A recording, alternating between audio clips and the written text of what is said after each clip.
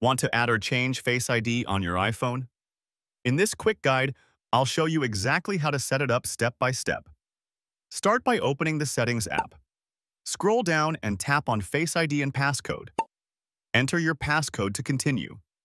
Now, if you want to set up Face ID for the first time, tap Set up Face ID.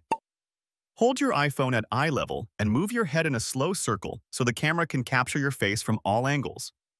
Once the scan is complete, tap Continue and repeat the process for a second scan.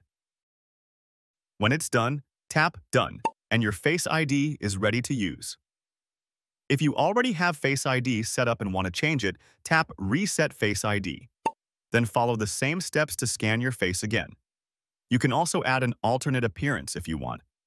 Face ID to recognize you in a different look, like with glasses or a beard.